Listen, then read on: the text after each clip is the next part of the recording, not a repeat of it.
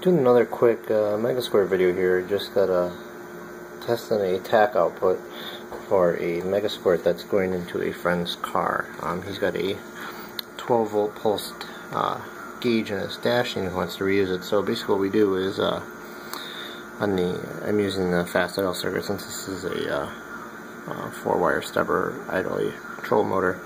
Um, S12 we put a resistor it's a 1K and I put it on the bottom of Q4 for this. You can go off a of D8 but with the wires I really didn't have time or didn't have room.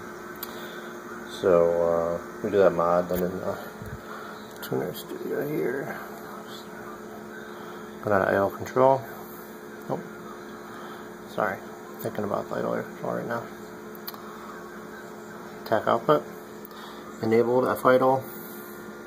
And you see here we actually have our oscilloscope, so I got it hooked up to uh, here you can see it says F light on there.